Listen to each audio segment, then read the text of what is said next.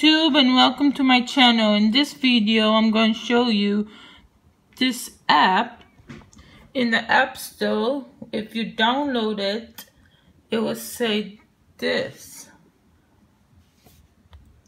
You have to get the new app, the updated one. Just go to the App Store and then it will be right next to it right there. This one will still work, but it won't be updated. It will still work normally. Play movie. Yep. You don't have to get this app, but if you want new movies and TV shows or something, they don't have TV shows, I'll download that.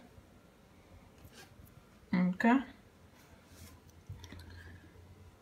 You can have even both. And that's just a quick video I made for these apps and then when you open it it will load keep loading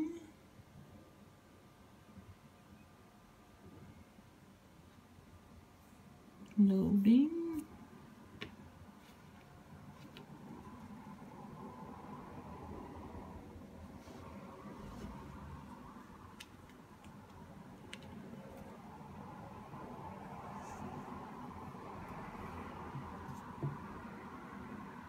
I think you get the point. You have to wait a long time to open that app, but this is a battle app. I like it. These are all my favorite videos. Stickman. And then if it goes like this, don't keep waiting. Just scroll down. And that does the movie right there. Yep.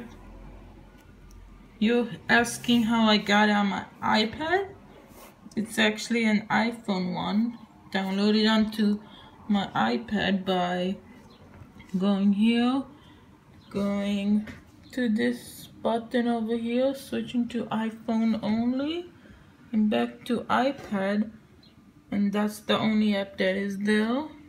And then if you go here to iPhone only there it is. And that's thanks for watching Bye.